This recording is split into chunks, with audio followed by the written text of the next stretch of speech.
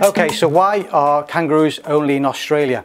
Well, the reason for that is that uh, the continent of Australia, also with New Guinea, has been isolated from the rest of the world by the Pacific and Indian Oceans for around about 96 million years.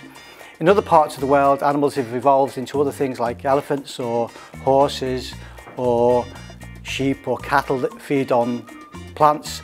But in Australia, the big plant-eating animals are the kangaroos and the wallabies. Uh, there's even one in New Guinea and northern Australia that actually feeds up in the trees. So they're actually kangaroos living up in trees.